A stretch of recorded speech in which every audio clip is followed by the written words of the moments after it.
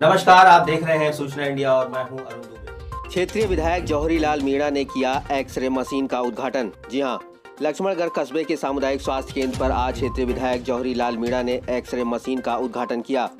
वहीं हॉस्पिटल परिसर का निरीक्षण भी किया और जिसमें आवश्यक दिशा निर्देश चिकित्सा प्रभारी ओपी मीणा को दिए गए। हॉस्पिटल के लिए क्षेत्रीय विधायक के द्वारा 15 लाख रुपए का बजट भी दिया गया, जिसमें हॉस्पिटल परिसर की मरम्मत व रंग पेंट के लिए दिया गया।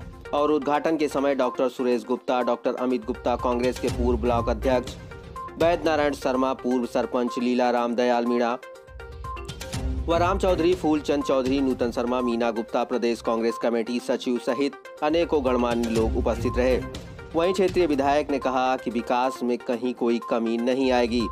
आपको जो कार्य चाहिए, उनकी लिस्ट बनाकर दे दीजिए। क्षेत्रीय विधायक से जनता ने मांग की कि सामुदायिक स्वास्थ्य केंद्र के अंदर महिला चिकित्सक का होना अनिवार्य है। महिला चिकित्सक न होने के कारण डिलीवरी के लिए अलवर मालाखेड़ा और गोविंदगढ़ जाना पड़ता है जिस पर क्षेत्रीय विधायक शीघ्र निराकरण की बात कहते हुए ये भी बात कही कि लक्ष्मणगढ़ में जल्द ही जनता क्लिनिक होगा संचालित। मशीन हम्म, बताएँ। सी एस सी के एक्सरे मशीन के उद्घाटन समारोह के मैं मैं आप लोगों को ये विश्वास दिलाता हूँ लक्ष्मणगढ़ के निवासियों को और ये मेडिकल के स्टाफ को भी विश्वास दिलाता हूँ। कि लक्ष्मणगढ़ में पंद्रह लाख रुपए पूर्व वक्ता ने कहा।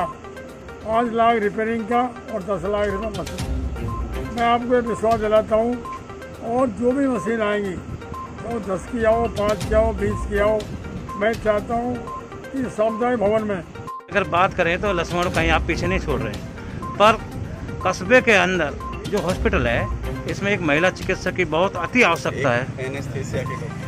ऐसा है कि इस हॉस्पिटल में महिला चिकित्सक की आवश्यकता है? आपको मैं भूल गया। एक बात और बताना चाहता हूँ कि लक्ष्मण में जनता क्लिनिक और चालू कर दिया। लक्ष्मणगढ़ में राज जो सी एम लोग सी एम का ऑफ़िस में बैठेंगी, एक डॉक्टर रहेगा, एक कंपाउंडर रहेगा, एक नर्स रहेगी, और वहाँ छोटे मोटे प्राथमिक उपचार के लिए भाई